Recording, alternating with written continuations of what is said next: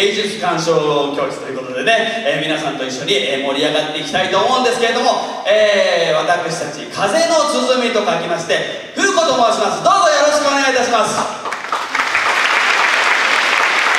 い。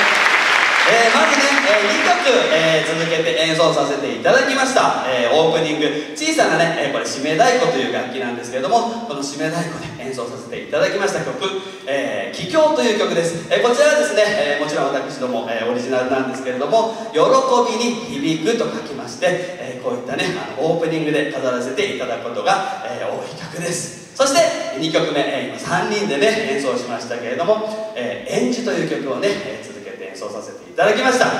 いかがでしたでしょうか？はい。どうもありがとうございますいきます。せーのその辺大好き。その辺ありがとう。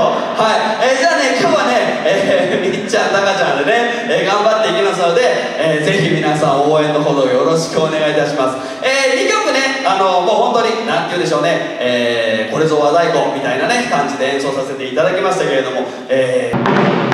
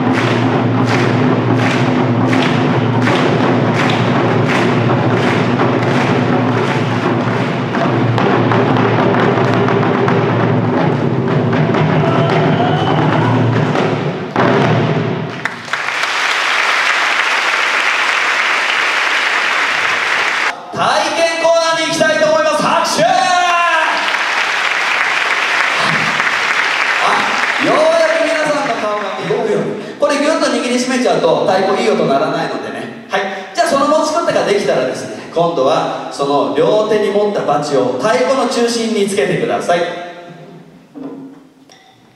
はいそしたらね、えーと、とさすがさすが和太鼓部もう形になってる。はいそうそうそう3人3人。ちょっとね近いからね。一歩後ろ一歩後ろ。OK はいそこで両足を広く開いてください。しっかりね。ハッピーだね君は。え今ぐらい開いた方がいいよ。そうそうそうそうそう。で左足を一歩前です。はい右足を後ろに引きます。そうです。左の膝軽く曲げといてくださいね。このね左の膝膝のねニュートラル加減がすごく大事なのでしっかりと左の膝は曲げといてください。